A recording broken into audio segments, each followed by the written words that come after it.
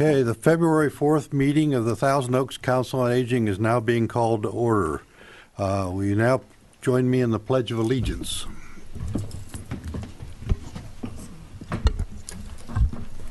I pledge allegiance to the flag of the United States of America and to the republic for which it stands, one nation, under God, indivisible, with liberty and justice for all.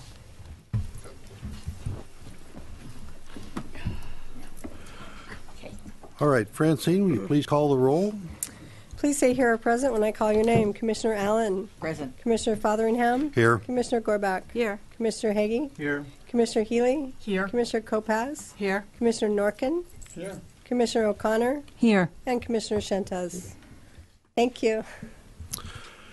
All right, item four on our agenda is public comments. Um, We have three public comments today, uh, and I'll uh, introduce these in order. Our first speaker is Jane Messier. Yes, you got here first, Jane. I'm going to have to come late next time. Good afternoon. Um, I'm glad to say that uh, the Senior Adult Master Plan Transportation Committee is back in action at the Goebel Center. We'll be doing our first workshop of the year, February 25th, at Goebel from 12:30 to 2. And reservations are required because it's a very popular event. And you would call 805 381 2744 to reserve your seat. Um, basically, we show people, seniors, how to get around without their car and to not be afraid of trying something new. Because I know as we get older, we tend to cocoon a little bit and have a hard time getting out of our comfort zone. So we try to do something about that. We'll be talking about changes, uh, upcoming changes to both dial-a-ride and fixed route. And we'll be um, also discussing the brand new mileage reimbursement program, which has had a huge response. We'll be talking about that as well.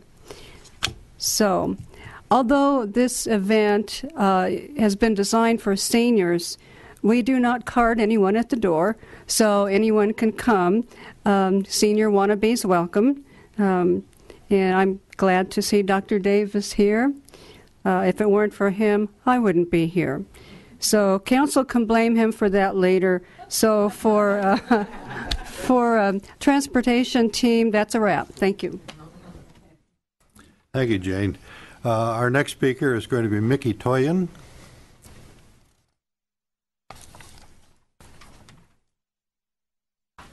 Good afternoon. I'm Mickey Toan. Um, I'm representing the Goebel Senior Center Commission, and we're putting on an event on February 15th. It's called History Comes Alive with Fred Stone, who is the most uh, famous painter of horses in the world. Um, his um, his artwork is in the White House as well as in Queen Elizabeth's home. Uh, Fred is going to talk about reflections of his golden age of many, many different racehorses that he has painted, jockeys, and trainers. If you have not seen his work, it is just really, really incredible. Um, one of his most famous um, uh, pieces of art, of art was called Partners, and I don't know if they're going to show it on the screen, but it's it's the fireman and the, the golden retriever from 9/11, and um, he'll be selling them at a very nominal price uh, when he speaks on February 15th, and it's at two o'clock. Tickets are only five dollars. Uh, we expect a big crowd, so we hope that you could uh, you could pre-register and purchase tickets ahead of time. They don't have to wait in line, and um, we look forward for um, everybody to to be there and support Fred. And um, Fred is 84 years young and um, still going strong. Spoke to him this morning, and he just can't wait. So again, it's Sunday, February 15th at 2 o'clock. Thank you. Okay, thank you, Mickey. And our final speaker is Andrea Gallagher.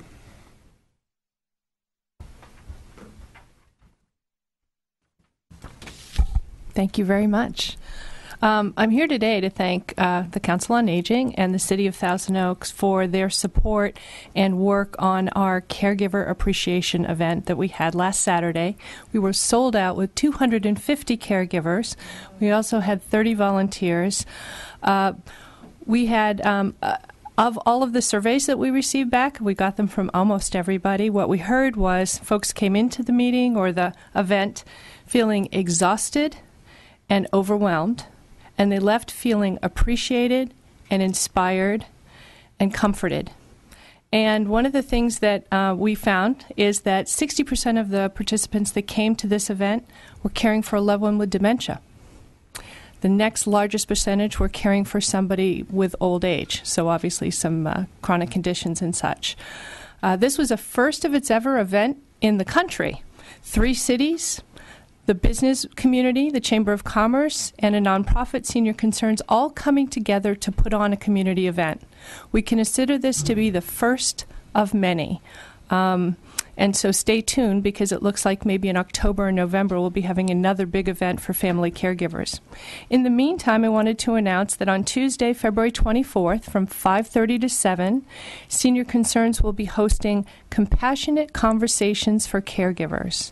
And that will be at 401 Hodencamp Road in Thousand Oaks. You can call to make a reservation at 805 497 0189 or you can email us at info at seniorconcerns.org. So thank you very much. I was a participant. I was a caregiver, one of the 250 caregivers, and that is truly the most difficult job a person, I believe, ever has in their life. I mean, it's it's so difficult. And okay, Francine, and it was such a lovely day. I mean, everybody there were people there care, caring for people with dementia, with old age. I was there. I have a cancer in my family. Um, there were all sorts of things, and somehow it managed, and the speakers managed to touch all those people. So I hope you do it again. It was a wonderful, wonderful day for all of us. Thank, Thank you. you. And the one thing I might mention is we should all look at the Thousand Oaks Acorn. They were there all day taking pictures, and I'm sure there'll be a lovely article about it on Thursday. Thank you again very much for your help and support. Uh, Thank you, Andrea. I heard your commitment to do it again in October, so we're counting on that. All right, I would now like to turn the meeting over to Vice Chair Healy. Um, I would like to introduce our commission reports. Uh, we'll start with uh, Commissioner Gorback and the Senior of the Year update. Great, thank you, thank you very much. You know, um, we heard that there were 30 volunteers at this wonderful event last weekend. Well, there are more than 1,200 senior volunteers who contribute time and energy to aid more than 80 nonprofit agencies throughout the community. And each year we honor we honor those volunteers, and one in particular is elected as Senior of the Year. The Senior of the Year nominations are open now, so you can go to the website at www.toaks for Thousand Oaks org forward slash seniors. And thanks to Francine, the link is right at the top of the page. Simply click on that for your application. Both individuals can nominate people and organizations can nominate people. So you need to do this today. Now, someone might say, but why? Why should we nominate someone as Senior of the Year? Well, I have here, ladies and gentlemen, the top five reasons why you need to nominate someone as Senior of the Year. Reason number five nominating a person for Senior of the Year will give that recognition to the individual he or she so richly deserves, beyond the free donuts and coffee, of course, that you bring in on Fridays. Reason number four nominating a person for Senior of the Year will give your organization the recognition it so richly deserves because at the banquet, both your nominee and your organization are recognized for the work that they do. Number three, nominating a person for Senior of the Year will shine a spotlight on the value of volunteerism in our community and that there is always a need for more senior volunteers. Number two, nominating a person for a Senior of the Year takes only a few minutes and will give you a well deserved break in the middle of your busy day. You can fill out the short nomination form directly on the computer, click submit, and it's done. Or if you prefer, print it out and send it into Francine at the City of Thousand Oaks. And the number one reason why you should nominate a person for Person of the Year is that you and your nominee will be invited to attend the awards banquet on June 4th at 4 at 5:30 at the Goebel Center, where we'll party hardy, enjoy great food, great company, terrific entertainment, wonderful door prizes, and most of all, each other's company. So today, go online, get that application, and nominate someone for Senior of the Year. Thank you. Thank you. Um, our fraud report today will be given by Commissioner Shuntes. Well, last month I uh, discussed identity theft and the things you should do to avoid it. But what if, in spite of your best efforts, you become a victim? Now what? Well, there are two things you should do right away. One is you got to put a fraud alert on your account. You call one of the three uh, credit reporting agencies and ask them to do that, and ask them also to tell the other two agencies to do the same thing. And that will prevent people from using your name and your information to open up an account in their account in your name. After that, uh, the other thing you have to do is go to the police department and file a report. The police department aren't won't be able to help you very much, but having the report will help you because it uh, gives you some credibility. It's a crime to make a false police report, so having that report will be a help in trying to straighten things out. After that, it's up to the individual because every case is different. There's no boilerplate you can follow. The only thing I can suggest at this point is you get a hold of the Federal Trade Commission. They are the government agency that is responsible for fraud. And you can hit them on the internet at www.ftc.gov. And there you'll find a wealth of information on the problem. That's it. Thank you, Martin. Uh, our next report will be on legislation, and Commissioner Hagy, Ron, you were up. Okay, our uh, state legislature, in their infinite wisdom, figured we don't have enough laws in California. So this year, this is 130, 130 sheets of paper. 130 new laws? No. Here's 800. 930 new laws for California. Uh, I may take a little bit of time. I'm going to read all those. No, I'm not going to read them today, but I'll go over. I'll go over some of those laws in the future because we don't. I don't want to give Francine a heart attack over there. We. Um, but what I would suggest is there's a wonderful website. It's uh, LEG info, leginfo dot legislature dot cal dot gov, and this website you can uh, you can find out what these new laws are, and if you have a particular interest in any uh, singular law, uh, you can get all the details at this website.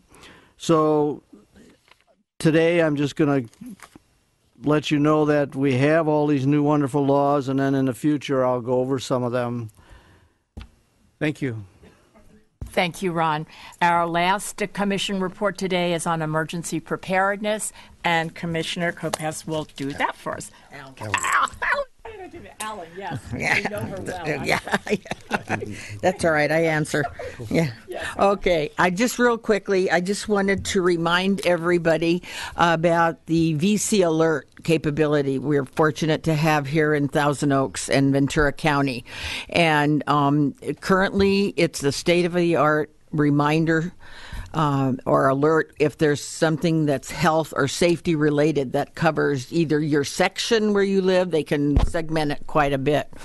So um, you do need to uh, register for it. It has all of the listed and unlisted phone numbers in. Um, um, AT&T and Verizon customers. They don't sell the information or share the information with anybody, but uh, what it will do um, once you sign up, and I'll give you a little information about that at the end, is it will whatever mechanism you choose, you can have them call your home phone, your cell phone, your uh, send you an email, fax, um, all sort. There's several different ways, and you can use multiple ways.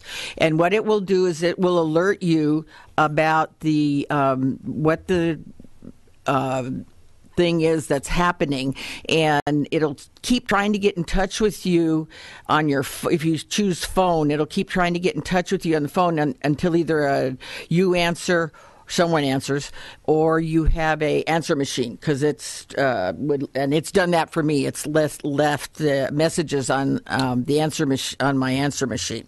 So anyway, it's very easy to sign up for. Um, you can go to the City of Thousand Oaks page, type in VC Alert, and or you can call a phone number 805 648 9283 and they will assist you in signing up.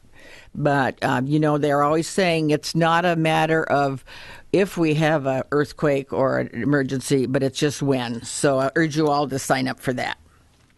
Thank you very mm-hmm. much. Yep. Um, should we go on to the next ones? Right back um, over to you. Hey, thank you, Vice Chair Healy. Um, the uh, item five on our agenda is, uh, well, we're ready for six. six. Mm-hmm. Next page. Item six on our agenda is liaison reports. Um, in addition to being an advisory body to the City Council, uh, the Council on Aging has also um, appoints commissioners to act as liaisons to various organizations. Um, and uh, I would like to uh, to recognize Commissioner Kopacz to uh, oh Commissioner O'Connor. Sorry, I'm doing the same thing. we really know each other. who will Thank introduce you. our liaison reports. Thank you, Nick. I'm speaking on behalf of the director of the Conejo Senior Volunteer Program, Rick Tanaka. And um, the first thing on the um, on the report is that the Wellness Fest was such a wonderful, amazing success. And for anyone that was there, they I know they all appreciated. It. There were over 500 people there and over 70 vendors. So, uh, Rick would also like to thank Los Robles Hospital and UCLA Health for sponsoring and helping them with this great event. I, I have a feeling you'll hear a little more about that today.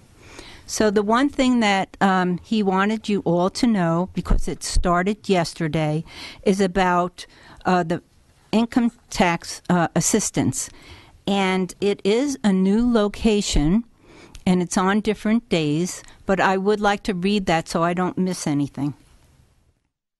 In cooperation with the Internal Revenue Service, trained and certified CSVP volunteers will provide free income tax preparation for persons in either of these categories seniors who are 60 years of age or older, any income level, or persons with an income of $50,000 or less, regardless of age.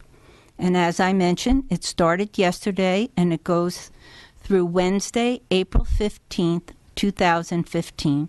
And it's on Tuesdays, Wednesdays, and Thursdays at these locations.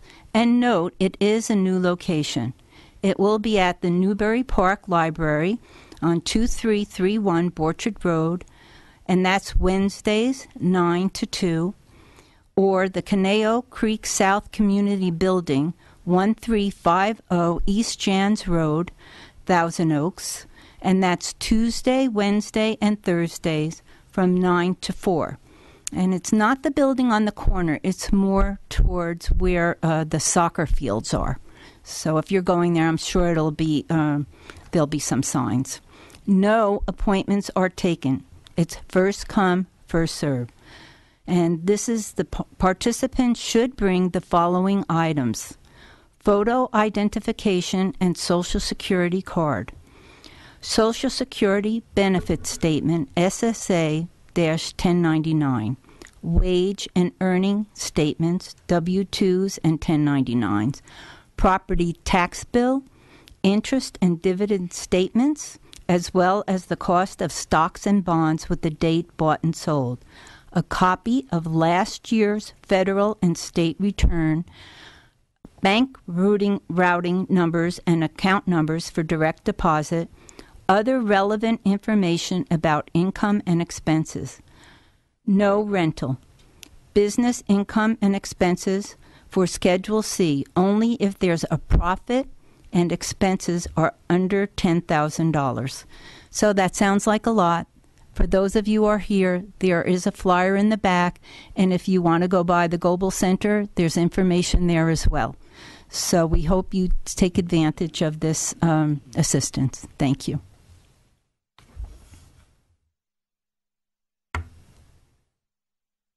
Uh,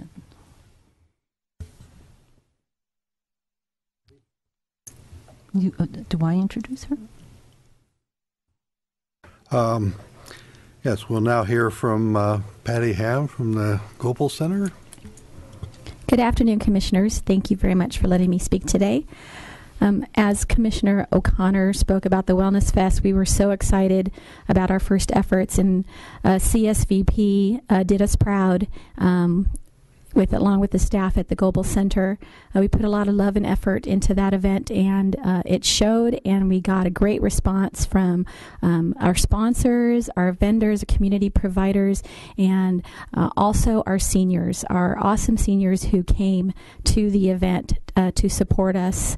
And it was uh, the first fundraising uh, major event for CSVP, and it was very successful. And we just plan on next year it being even better. Um, years to come. Uh, Goebel Center, February. It's a month of very exciting things happening and a month of love, of course, Valentine's Day. We're celebrating next Saturday on Valentine's Day with a Valentine's Day dinner for seniors. Um, it is, we're going to provide an Italian dinner with uh, salad and garlic bread. And the Reserve of Thousand Oaks is coming over to join us, and they're going to be providing the wine. And the best part of this event is wait for it, wait for it. We're going to be showing Mamma Mia on the movie screen, and it's the sing along version. So we're going to be dancing and singing in the aisles and having a great time. So I hope everybody can make it. It's going to be so much fun. We're very excited. And uh, if you don't have any, you know, solid plans for Valentine's Day, come on over and join us and join the Goebel family and have some fun. And it's $5 per senior. You can sign up at the front desk at the, at the senior center. And um, the next day is the History Comes Alive. Commissioner um, Toyin told you about that. And uh, that's the commission event. That's also $5. And Fred Stone will be coming and speaking with us. And they just had this past Sunday a commission event where they had a Frank Sinatra um, look-alike and impersonator come and sing. We had over we had 200 seniors fill our auditorium for that performance, and it was incredible. And it brought back uh, a lot of great moments for seniors. And he he had an incredible voice, sounded just like him. He even did a little bit of impersonation of Sammy Davis Jr. and um, oh goodness, Thank you, Dean Martin. Dean Martin, and it was it was fun, and uh, that music. Who doesn't love that that golden age music, right? So that was a lot of fun. So they've been very successful in providing some really fun things for the seniors. And then lastly, I'd like to tell you about uh, another commission event on Friday, February 27th. The commission is going to try a nighttime bingo for the first time. So they've gotten a lot of feedback from people who maybe don't come to the daytime bingo because they're either working or they just can't make the daytime. So we're going to provide a nighttime bingo on Friday, February 27th, and the doors will open at 6. The sales will end promptly at 6:45 and bingo will start at 7 and we will also be providing uh, food for for a fee. Um, if you can't, if you want to come straight from work and come over and get your tickets, um, it should be a fun night. And uh, just to reiterate, the tax program has moved. It what had been at the senior center for many years.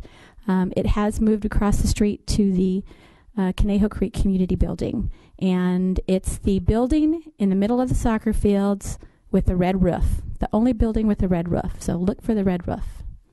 That is it. Thank you. All right, thank you, Patty. Uh, Yes. Yes.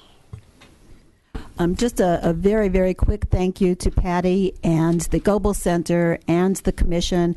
I've attended a couple events there over the last couple of weeks, and they are fabulous. We are so lucky in this community to have the programs that the Goebel Center and its Commission provides.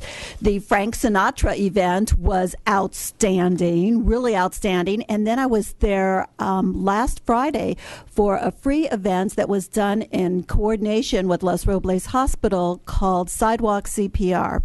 And it was very, very important. And if you ever have a chance to attend an event like that, you have to do that. It shows you how to do CPR um, just by using chest compressions and um, not doing the, the mouth to mouth. And we practiced, and I am absolutely confident that should the need ever arise, I can be someone to help save a life. So you you need to do that also. Okay. Thank you very much. Okay, thank you, Karen. And now I'd like to introduce Commissioner Kopacz, who will introduce our guest speaker for today. Thank you. In recognition of National Heart Month, we are honored today to have Dr. Dev, who will be sharing valuable information on the prevention and treatment of heart disease. Dr. Dev has received numerous awards and honors and has written more than 60 papers and has contributed chapters to at least 10 books. From 2004 to 2005, he was director of the Cardiac uh, Catheterization Laboratory at Los Robles Hospital and was chief of staff from 2005 to 2007. Since 2006, Dr. Dev has served as medical director, cardiovascular services at Los Robles Hospital. Welcome, Dr. Dev. Thank you. Uh, thank you, Commissioner Kopacz.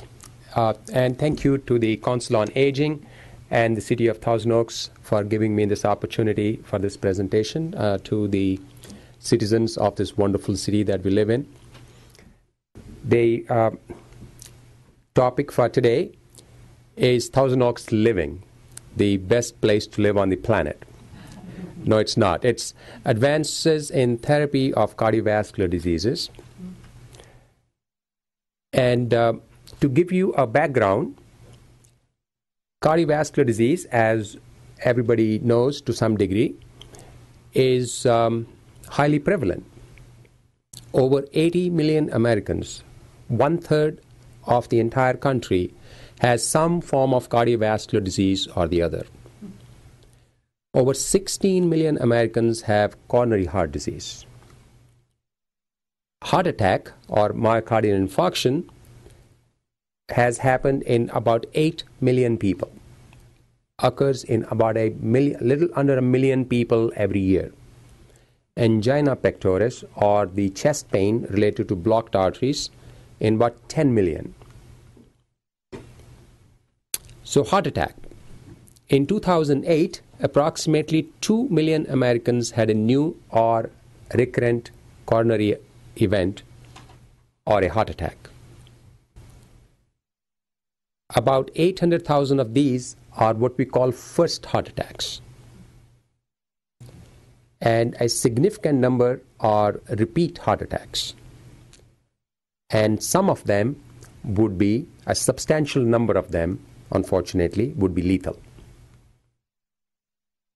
So, what I intend to do in the next 30 minutes or so is um, go over some patient stories and that just will bring a perspective to how the heart disease can present. So, the first patient is a 39 year old male, high cholesterol, strong family history, and he presented to the emergency room with history of chest pain for the prior two days. He didn't think it was anything related to the heart, so he kept doing his thing. It became quite severe. He started sweating, and when he was going to work that day, he realized he can't do any go any further and he drove to the emergency room He had prior history of similar milder symptoms. The electrocardiogram in the emergency room showed ST elevation myocardial infarction, or called the STEMI, like the heart attack. Now that shows the blocked artery in the panel on the left, and after we've put a stent and fixed, you can see that area that's pinched is now open in the panel to the right. And that took about 30 minutes from the time that he hit our emergency room door till the time that those arteries were opened.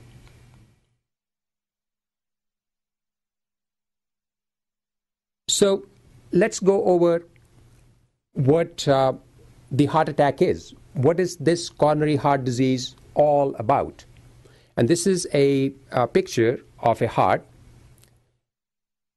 a painting of a heart, in fact, a cartoon, and it shows the heart from the front.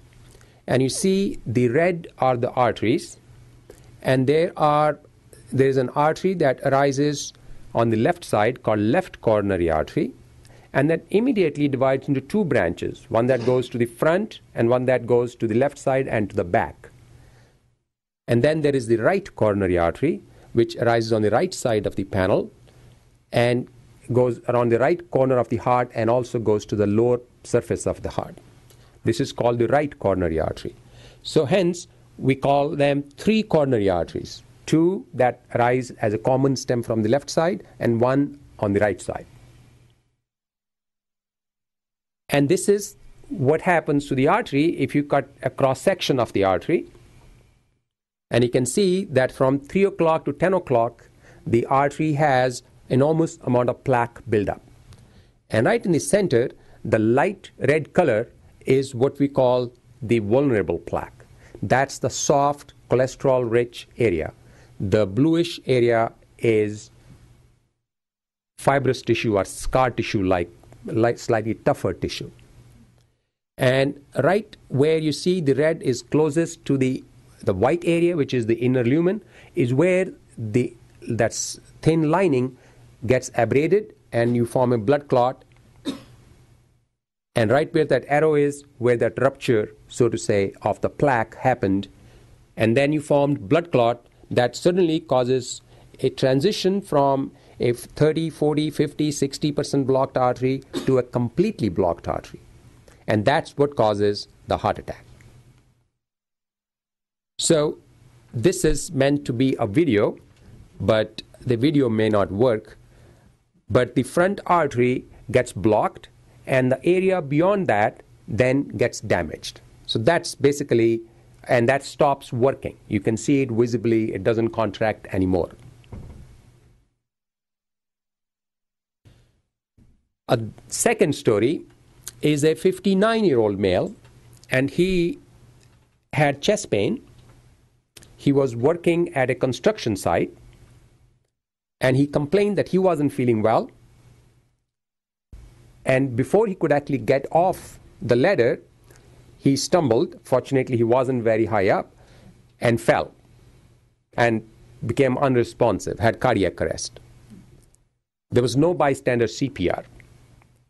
And that's an issue that we will talk about as well. Uh, fortunately, this was construction very close to a fire station, so they reached very promptly. And he was given CPR, he was intubated, he had cardiac arrest, and was given a shock, recovered, and was brought to the hospital. And it again, the electrocardiogram showed heart attack. We did a CAT scan to make sure there was no injury to the brain, because that has bearing on what we do with them. And here is his artery on the left panel is a completely blocked artery with a tiny branch that goes to, towards the right. And on the right panel, you see the artery after being opened. And the moment the artery was opened, his rhythm got stabilized, and we knew that his heart has now started recovering already. However, he was unresponsive. We did not know how much degree of damage had happened to his brain because of lack of oxygen. And uh, this is supposed to be a video which shows that blackened area is where the heart attack is. And then that starts an electrical storm which causes the heart to fibrillate. It has a very fast, erratic muscular activity which does not have any effective pumping ability. So the, there's no cardiac output. So, cardiac arrest, the heart is not at standstill. The electrocardiogram that we see on TV showing straight line, flat line, doesn't happen. They have very erratic, very irregular, very rapid rate. That's what causes cardiac arrest. Eventually, it becomes a flat line because everything stops. So, in this gentleman, after we opened up the artery and stopped the heart attack, we needed to help his brain to recover. And we started him on what we call therapeutic hypothermia. That means we lower the body temperature as a therapy to protect the brain from ongoing damage because of lack of oxygen. We know that lack of oxygen to the brain starts damage early. However, it's not a one step damage. It happens and is perpetuated by the events that follow cardiac arrest. So, the goal of this approach is to lower the body temperature to 32 degrees Celsius, which is around 90 degrees Fahrenheit. It, and then slowly warm up for 24 hours of 32 degrees Fahrenheit, and then slowly warm the body over the next six to eight hours. This is this gentleman 18 days post his cardiac arrest. He is very proudly walking his uh, IV stand with him and walked home with essentially no brain damage. So, post cardiac arrest hypothermia is not a new thing. The first CPR, first resuscitation paper that was written, the first thesis, the first playbook that was written on this, was written by somebody who said, start the ABC of life airways, breathing, and circulation. And he said, after you're done with that, then start lowering the body temperature if the patient is not responsive. The strange thing is that this he said in 1964, 50 years ago. For about 50 years, we've been frozen, literally, because post arrest hypothermia till recently was not very widely practiced or very widely available. We know it saves lives. And we know you should know and feel assured that your local hospital has all the facilities needed for it. So, what are the symptoms of a heart attack? The classical symptoms are chest pain or pressure, an elephant sitting on the chest with some radiation to the jaw, to the throat, to the shoulders, to the arms. Unfortunately, it does not have to follow every part of the complex.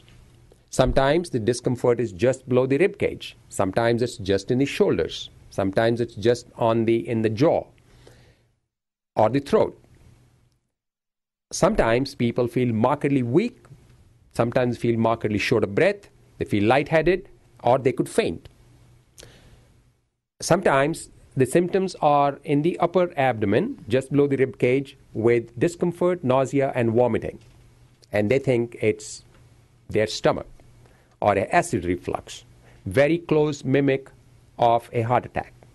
The truth is, any of those symptoms that start suddenly should be assumed to be a heart attack unless proven otherwise. So let's divide the jobs. Your job, not the person who is having a heart attack. Don't ignore symptoms. If you think you're having a heart attack, chew two tablets of aspirin. There's a large body of data that showed aspirin alone lowered heart attack mortality by 22%. Call 911. Do not drive to the emergency room. Do not ask family members or friends to drive you to the emergency room. If alone, unlock the door if possible after calling 911. Don't need to fix your hair or makeup. Our job identify heart attack fast.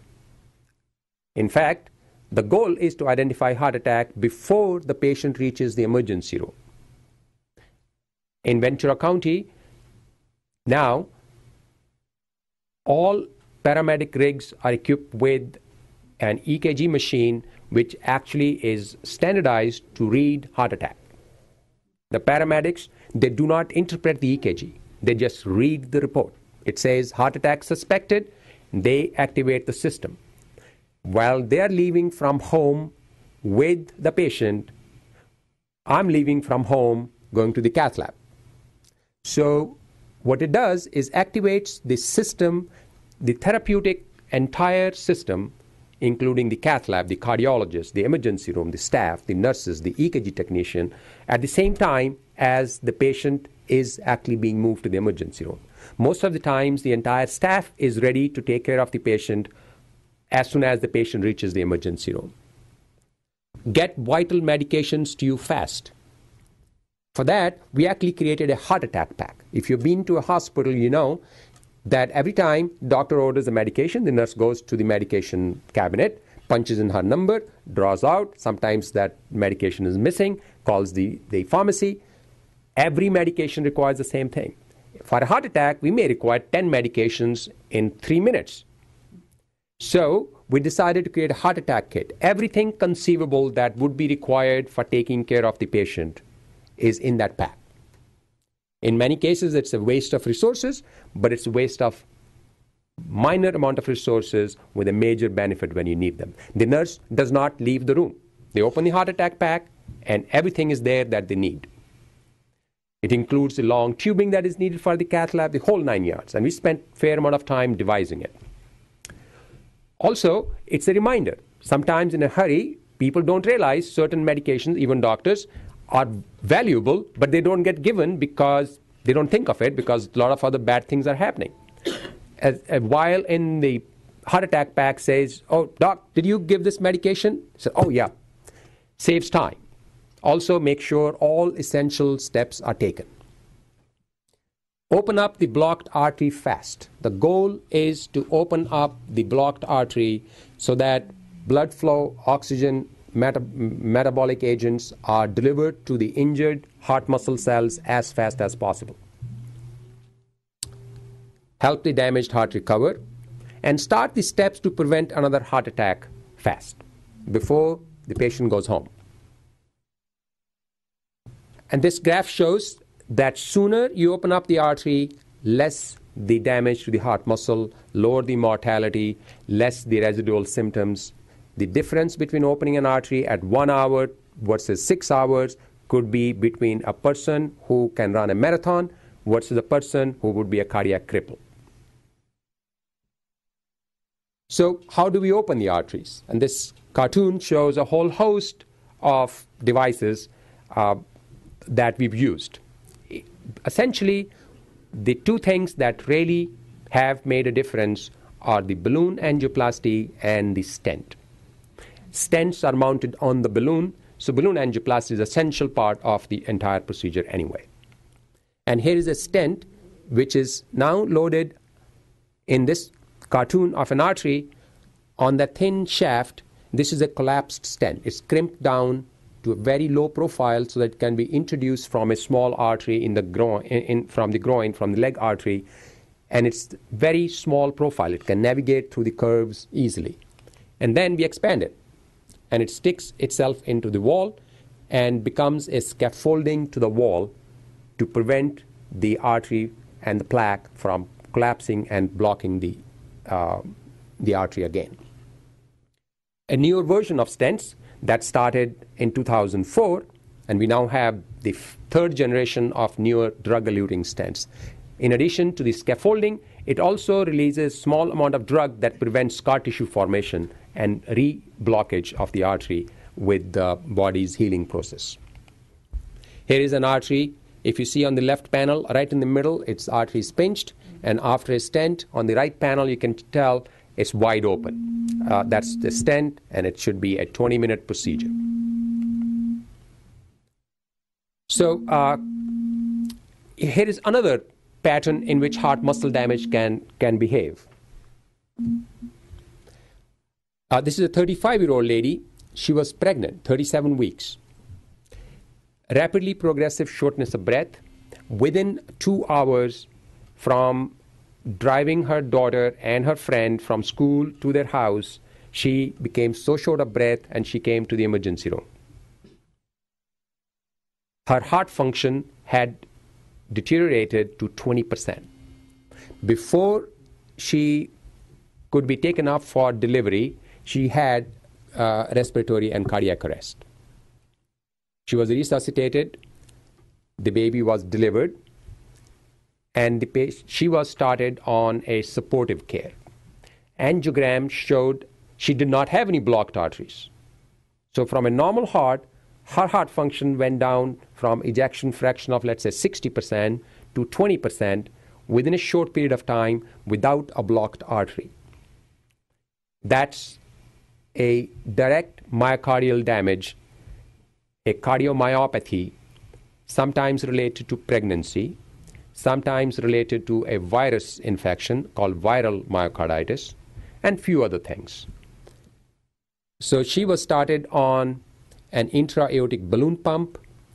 Then we brought in a new device at that time called the Impella device, which is assists the left ventricle by pulling out blood from the main pumping chamber and pumping it into the aorta.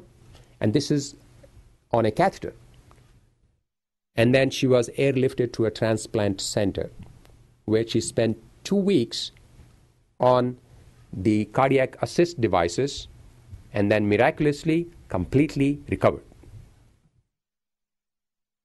Her heart function about six weeks later was back to low end of normal in three months was completely normal and four years later five years later last year she gave birth to another wonderful child without having any problems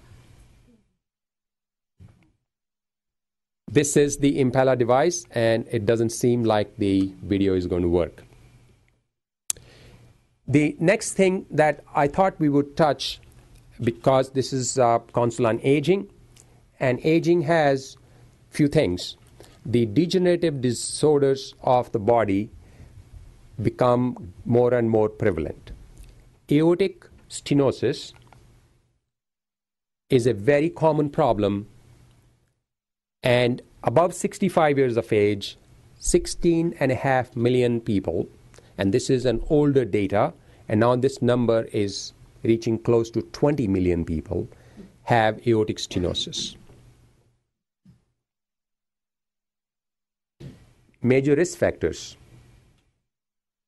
just age more common in men high blood pressure smoking and high cholesterol strangely a lot of risk factors that are also associated with coronary artery disease that we just talked about.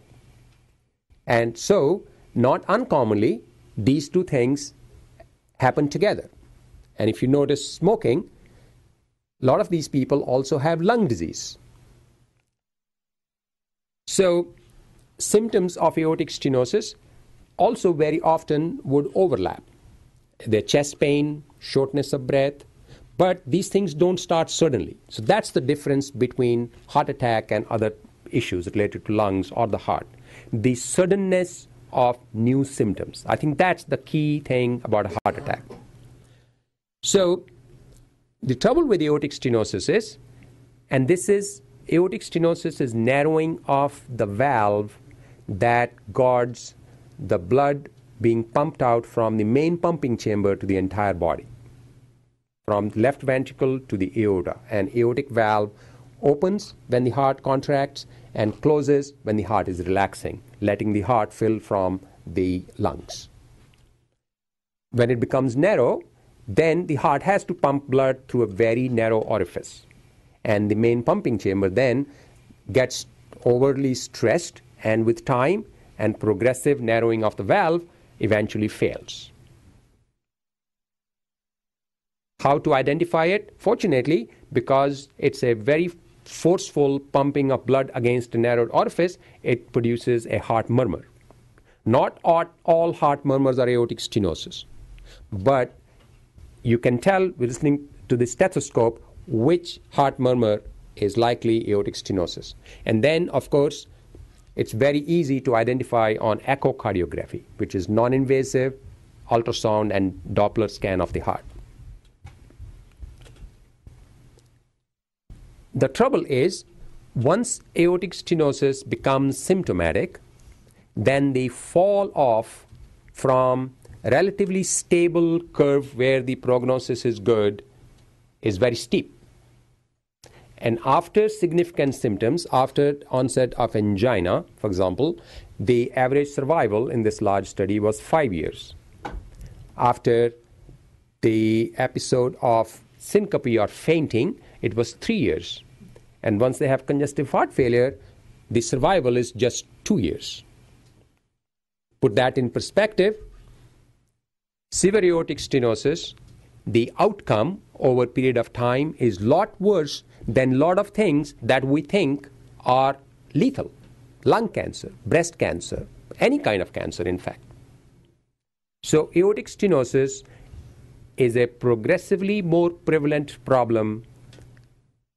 Older we get, older the population gets, more prevalent it's going to be. And once it starts producing symptoms it has crossed a certain level of blockage, the outcomes are particularly worse. Aortic valve replacement, which is a surgical treatment, improves survival. We know that. That data is strong. However, aortic uh, stenosis, aortic valve surgery now is open heart surgery. And aortic stenosis is now becoming prevalent in greater proportion in patients who are particularly 85, 90 plus years of age. Plus, they have other problems. They have coronary artery disease, they have lung problems. So, it strikes the population at a time when they're least suitable for a major surgery like open heart surgery. So, the disease, in a weird way, excludes its only definitive treatment that was available so far. However, in the last 10 years, a hectic amount of research has happened in trying to replace the valve without surgery. And this is the first kind of valve. There are now multiple, a third generation of this valve, multiple other valves with evolving, rapidly evolving, and finesse technology that are now available. And the logic and the procedure plan is simple. Instead of a surgeon excising the diseased valve and then stitching a valve into the hole that's left, the ring that's left, we actually stitch or stick a valve which is now crimped on a stent and use stent as an anchoring device. So in the arteries, we use stent as a scaffolding device to prevent the tunnel or the artery from collapsing. In a stent valve, we use the stent to anchor the valve into a narrow ring of tissue where the original valve is. And with the stent valve, we actually don't remove the old valve because the old valve is hard and rough and calcified. We actually st- stick the stent into it, it actually holds it. So, and this can be done through the femoral artery again. And this cartoon is meant to show that there are these cartoons are actually available on YouTube or on the Edwards website to see how the procedure is done.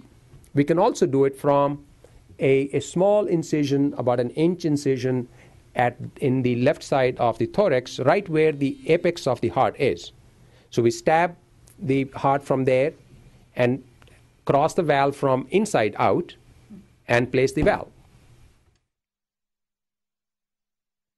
So if somebody said 15 years ago that we could actually replace the aortic valve without surgery, uh, that person would have been laughed out from the room.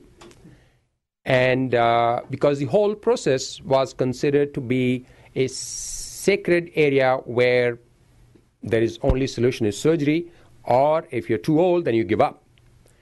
We now have, we started this program in Los Robles Hospital uh, in July. This, uh, be, we waited till the device became, uh, the size became small enough that it could easily be deployed from the femoral artery without anything major.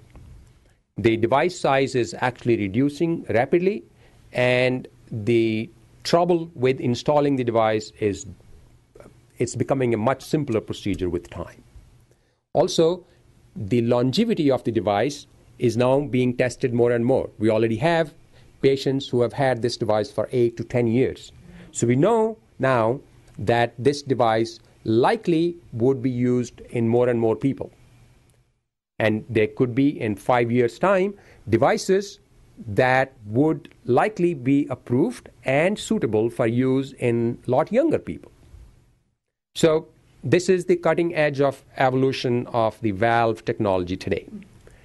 The, a modification of those valves is also now used in the mitral valve, which is the second valve on the left side, which starts leaking in people with enlarged heart. And uh, so, this is just mushroom, mushrooming of technology to tackle the valve issues that were only tackled surgically before. We'll now quickly talk about a couple of other things, just mention them, just to give you a perspective of all the things that are happening. And this one is atrial fibrillation. And if we think aortic stenosis was age related, atrial fibrillation is almost completely age related. There are some younger people who have episodic atrial fibrillation, but 90% of the atrial fibrillation is age related. 65 and above. And as if you took people who are 75 and above, the prevalence keeps going up. And above 80 years of age, it's about 8 9% of the population has atrial fibrillation. Above 90, about 10 12% of the population has atrial fibrillation. And it requires treatment uh, in terms of there are multiple different solutions.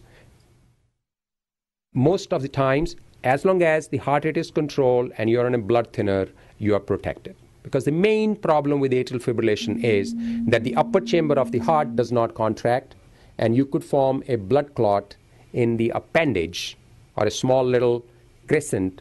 It's like a little um, uh, a closet, like in a closet of a room uh, it's a finger like projection. That's where the clots form because the blood circulation is very sluggish. Blood thinning helps. There are devices that we can actually block the appendage. Go put a little tiny plug, and there's a plug that's likely to get approved within a short period of time and shows that then you do not need to take blood thinners for long. So there are things happening in atrial fibrillation. In younger people, uh, with, ep- with episodic atrial fibrillation, we can burn the area where the electrical uh, activation of the atrial fibrillation is happening, called ablation procedure. Um, the results in people who have continuous atrial fibrillation or persistent atrial fibrillation, the success rate is about 50 60%. But in younger episodic atrial fibrillation, the success rate now is 90 plus percent. This just shows atrial fibrillation increases with age. And of course, the heart failure. Heart failure is the commonest diagnosis for admission to the hospital in our country. It requires multiple things, mostly medical. There are some devices, uh, but I think we don't have enough time in this session to talk about them. So the question is um, where are we lacking? So this cartoon for example, highlights the fact that we have fair amount of research, some we talked about, but in a bizarre way, most of the research till recently was middle aged men. We didn't have much research on women. And we did not include all age groups. A lot of the studies would exclude people above 80, and of course, younger than 18 for, for specific reasons. But now, people above 80 are a common part of our population that we need to treat. None of the trials really answered that question. And women are, were not so far. And there is now an increased emphasis on research on women and heart disease specifically.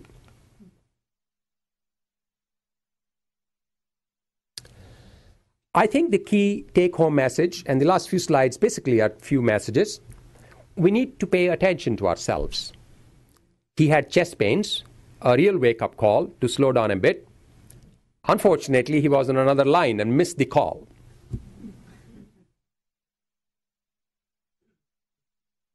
And slow down a bit.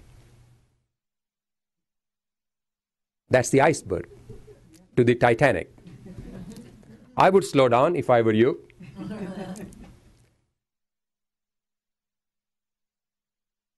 and here is uh, a trick question. It's my five birds on a wire question. So one of the birds decides to fly away. How many birds are left on the wire? The answer is still five because he just decided to fly. He actually did not fly. Deciding to fly is not equal to flying. So, deciding to stop smoking is not equal to stop smoking. The point is, we know, most of us do, as to what's good for our heart. The point is to start flying and start doing the exercise, eating the right stuff, quit smoking, taking your medications regularly, um, keeping an uh, optimal weight. Start that today because till you fly, you're still on the wire. And this is my tip of the iceberg message. Heart disease, the symptoms of heart disease are the tip of the iceberg what you see is very little part of what is underneath. If you wait for symptoms, you may be too close to the iceberg, as the Titanic discovered. When they could see it, they were already hitting it. And a sobering part of heart disease, it's very expensive to take care of heart disease. In, a, in an irony of life, more scientific advances happen, more expensive the care gets. At 95, with severe aortic stenosis, 10 years ago, we would just wait for the person to die. Now, we can add valuable life to those 95 years, but at a cost. The accountant doesn't like it. Same thing about numerous other technolo- technological advances that we've talked about and some we haven't had time to talk about. But we are a rapidly progressing society in terms of science and evolution, and thank God for that. Because, at least in the current environment, though there is now fair amount of disincentive, there is huge amount of capital investment into research and development. And that pays dividend in terms of value, quality, and the extent and duration of life. That's priceless. But somebody looks at that as a poor choice that either you spend money because it's expensive to take good care or you die. In that case, either paper or plastic. That I hope wasn't in poor taste with all the stuff that's going on and around the world today. But um, I appreciate everybody's patience in um, in um, listening to my presentation on advances in heart disease. And I'm open for any uh, questions. Uh, okay, from thank the you, council. Dr. Dev. We'll now take any questions from the commissioners. Do you have any? Yeah, Yes. This is not so Nancy. much a question. Seven uh, Valentine's uh, closer. Okay, uh, seven years ago on uh, 2007 Valentine's Day, I had a heart attack in my office. Did everything wrong. Drove myself home. Spent the night at home by myself. When I drove to the Los Robles ER, thank God they were so responsive so quickly. And I had no idea it was a heart attack. No symptoms that normal you think of, you know. And they had two wonderful cardiac nurses in that cath lab. They were senior nurses. I, was terrified. I mean, I could have had another heart attack from just being terrified. And then I was assigned Dr. Ali Abadi, who happened to be on duty, and he's still my cardiologist. But they responded so well, so quickly, and in a way that it, it was very calming. They were they did a wonderful job for me. So I'm here today too because of the cardiac stuff there. So thank you, and thank you for that. That was very informative. Thank you. Any other questions? Well, I have one. Early in your uh, presentation, you showed an image of a cross section of an artery uh, with a piece of loose cholesterol that ruptured into the lumen and caused a clot.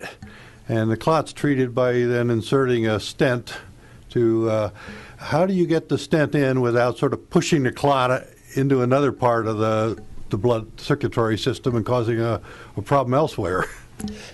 I think that's a very good question. Um, what we would, what we do, to give you an idea of the equipment. So the first thing that crosses the artery is a wire, which has a soft end, and it measures 14 thousandths of an inch. The stent, when it's crimped on a balloon, is truly a very small caliber compared to the cross section of the artery. We also give medications, blood thinners, that take care of the clot. If we suspect, so the amount of clot is actually inversely related to the amount of plaque because the artery is certain size. If there was a 80% blocked artery and it became 100%, then it requires smaller amount of clot. If it's 20% blocked artery and it's a big artery and it became completely blocked, then it's filled with clot. So what we do now is after the 14 thousandths of an inch wire crossing it, which crosses without moving anything, we actually put a device that sucks the clot out. And then we put the stent covering the raw plaque that needs to be tacked up because it's now ulcerated rough surface is what the body does not like. There are cells in the blood called platelets whose only job, they don't have a nucleus. So they're like headless soldiers. Not that nucleated cells think, but they truly have no nucleus. They just have pieces of uh, cytoplasm with the membrane. So their job is to find a breach in the vascular system and throw themselves clumping together like soldiers holding hands, throwing themselves uh, into a crack in the dam to close it. However, they can't tell whether it's a, a rupture of an artery or a rough inner lining of the artery. They do this, they treat it the same way. So the platelets clump together and plug up, and they're trying to prevent a bleed out. However, all that they're doing is plugging up an artery that just has a rough surface. Hmm. The point that I'm making is that rough surface, if you leave it alone by just sucking out the clot, likely would get exposed to more clot. So you need to cover it and remove the blockage by putting the stent in and expanding it. Mm-hmm. There are situations where we've seen that after we suck out the clot, the artery looks normal. In that case, we do not put a stent. So that's a judgment based upon what we see after we remove the clot. In many situations, the clot is um, small, but enough to cause a 90% blocked artery to completely get to completely blocked artery, and not much clot comes out. And these are, if you uh, if you get a perspective, these are three millimeter sized arteries, average two to four and a half millimeters. So that's this So they are, if you take the, it's they're tiny. So I hope uh, that answers your question. Yes, we thank you. protect. We do not want blood clot. Blood clot, however, cannot go outside the artery and cause a stroke. It can only break and go downstream because once the artery is open, this flow will drive it into smaller and smaller vessels. Mm-hmm. But we do not want the blood clot to occlude smaller vessels either. Dr. Dev, I have a number of people that I know that are suffering from AFib, mm-hmm. and quite commonly I hear, well, I might have a stroke from this. What is the potential for stroke uh, with you having AFib? Okay, so uh, atrial fibrillation is the upper chambers of the heart, they just fibrillate. The lower chambers of the heart start beating irregularly and fast. So the two components. Upper chambers, where that little appendage is, left atrial appendage, or that little um, closet, when the upper chamber is contracting, then it pushes out blood with every beat, and there is no stagnant blood flow. When the atrial fibrillation happens, especially in the appendage, the blood just becomes stagnant. And blood is a strange tissue. If it's flowing, it's liquid. If it stops, it gels into a clot. So the left atrial appendage forms blood clots in atrial fibrillation. So that blood clot, if it pushes its head into the flow stream, gets knocked off, and then circulates in the blood like a bullet trying to block an artery of its size. Very often it would cause strokes. That is the single most important reason why atrial fibrillation is so dreaded by all of us. Atrial fibrillation is not a lethal arrhythmia by itself. If you just control the rate, the heart is able to deal with atrial fibrillation with fair, fairly well. The heart cardiac function reduces by about 15 to 20 percent but body adapts to that very easily because heart is able to increase its function by 3 400 percent during exercise and if needed so the point is atrial fibrillation by itself if the rate was controlled with medications would be a non-threatening arrhythmia except for the clot formation in the left atrial appendage that's why these they need to be treated with blood thinners the older blood thinner the coumadin the rat poison, or which has worked very, very well for most people and saved lives. Uh, or there are newer medications that do not have drug interactions, do not need monitoring. Everything else is good. You can eat what you, there is no drug in- interaction with food, but the obvious catch, they're expensive. And hopefully, they would become a little cheaper, and uh, then we would likely not need to use Coumadin.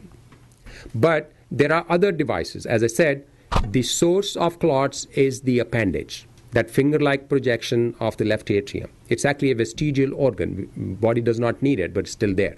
It's like a appendix is there and people have appendicitis and some people die from it, which is evolutionary paradox that a vestigial organ actually that should have gone away actually kills somebody. But that's how maybe we'll lose the appendix in the next two million years or the left atrial appendage, but it hasn't happened yet. So, right now, if somebody has atrial fibrillation, we can put a plug through a catheter from the groin and seal that, and that can prevent blood clot formation as well. So, people who cannot take blood thinners, for them, that's an optimal choice. Good. You're, you're very welcome. Yes. Donna? I just want to say thank you, Dr. Dev, for making it so understandable. It was really a great presentation. And Oh, I do have one welcome. question. Sure. Does alcohol and stimulants affect AFib? Yes. Uh, there is a entity called um, Saturday night atrial fibrillation. And people would have a bout of alcohol and would come to the hospital with atrial fibrillation. Uh, alcohol is a stimulant for the heart muscle. Uh, caffeine is as well. Other agents that are commonly used and people are not aware of them are the cough medications, things like um, pseudoephedrine. That's a stimulant. Um, sugars are stimulant to some degree. So if you have a couple of glasses of wine with dinner, then a chocolate cake, and a cup of nice strong coffee, you set yourself up for having atrial fibrillation. And if you have a tendency to have atrial fibrillation, you will. If you don't, then you wouldn't. So, not everybody would have it, but that's the kind of combination. If you have had atrial fibrillation, then you do not want to do these things in combination. You got you got you got alcohol, you got caffeine, you got sugar, and chocolate has caffeine as well. So, um, and that can actually bring on what we call the paroxysmal or episodic atrial fibrillation in young people, and that strangely, it seems, happens more often in young athletes, people who work out on a very regular basis. Um, we've seen that they can have uh, um, uh, episodic atrial fibrillation. Thank you. You're very welcome. Right. If there are no other questions, on behalf of the Council on Aging, I'd like to thank you for a very informative talk. And personally, I'd like to thank you in case I'm the person whose life you just saved. Uh, so, Thank you very much. So, And thank you again to right. the Council of Aging. Thank you. okay. Um, item eight on our agenda are commissioner comments. Do we have any commissioner comments today? Yes, Donna. I just wanted to thank all of the volunteers out there that make so many of these events that we've talked about today possible. So thank you so much for volunteering your time. Thank you. Okay. Any other comments? Okay, seeing none, we're adjourned.